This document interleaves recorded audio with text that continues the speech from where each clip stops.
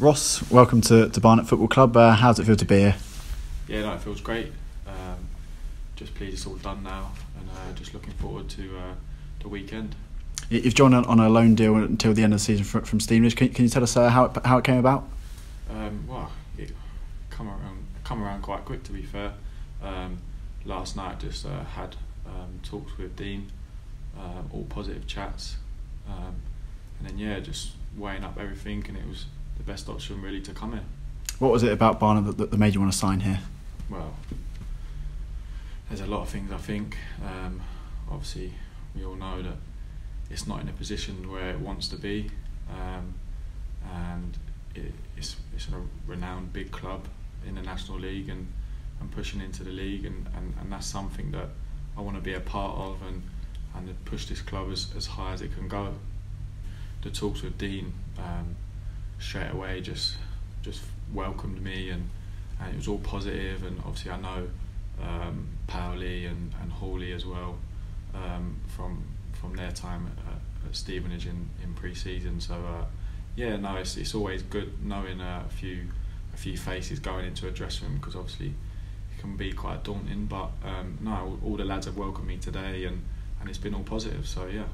You, came through the, the uh, academy at Ipswich and, and have since had spells at uh, Lowestoft, Braintree, and, and, and Maidstone. What, what was that like for you, and how do you feel like that, that might have helped you uh, sh- shape shape your game and shape you as a player? Mm. Yeah, no, I think I think that's it's a big part to things going out and, and experiencing first team football. You know, um, for me as well, it's something that I've always wanted to do and, and just get the taste of things and, and I think that puts you in good stead really for to, to going on and, and managers trusting you more and having that experience behind you and, and that's the main thing really that, that, that I've got out of it is, is going there and, and playing games and, and getting more minutes under your belt. You've already touched on it already, but what the uh, what the conversations been like with Dean Brennan? All positive. He's uh, he, he's a funny man. So uh, nah, he's uh, he's class. Obviously, had the phone calls last night. Um, he's just speaking about the club and, and how he wants it going forward and things like that. It's, it's all positive. It, it, was definitely something that I wanted to be a part of 100%. And can you uh, describe yourself as a, as a player for, for those who, who might not know a lot about you? Yeah, so uh, I can play centre half or, or in the midfield in a holding role. Um, I feel like I've got an eye for a pass. Um, definitely can can cover the spaces and get around the pitch and, and be dominant in the one v ones and and just get things going forward. Really, um, yeah.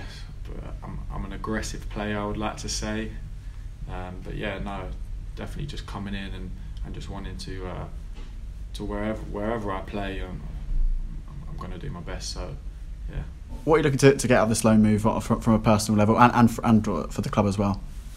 No, listen, the, the main thing for me is, is, is to come in and play games, you know. Um, it's, it's, something I've, I've been lacking this season, um, which has been a little bit disappointing. Um, but, but obviously, that's football and, and that's what happens. And I'm just pleased to be here now, and, and hopefully, I can just put in the good performances, help the team, push up, and uh, yeah, just get games under my belt again.